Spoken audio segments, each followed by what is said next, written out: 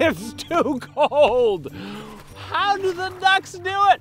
I just want to get in the Jeep and go back home. Ah, are you inviting me to your home? But we are in your home, and I'm still cold.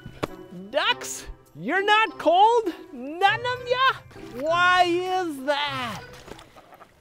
Their feathers, do you notice? Look, the water just runs right off them because the oil's from their preen gland, which is located near their tails. Part of their daily grooming is using their beak to grab some of that oil and rubbing it all over themselves. They stay dry even when floating in the water. They also fluff up their feathers for extra warmth. Under all this down and fluff is some fat, which also helps keep them warm. The fact that they're warm blooded also means their body will help regulate their temperature.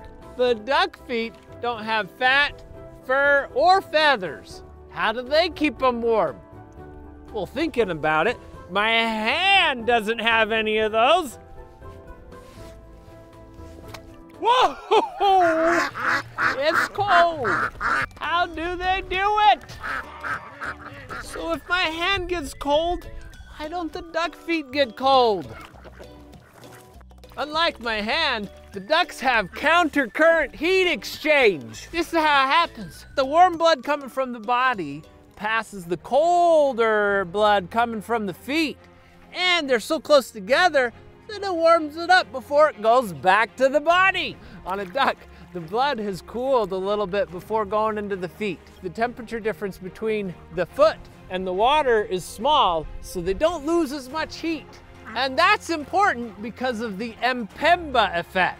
The rate at which the temperature changes depends on the difference between the two temperatures, like the temperature of the water and the temperature of the duck's foot. The bigger the difference, the faster it changes. And that's part of the reason why my warm hand feels colder when it goes into the water. And all of these duck superpowers possible because the food that they eat. And you can help by going to Twitch TV over at Dash Ducks and giving them some food.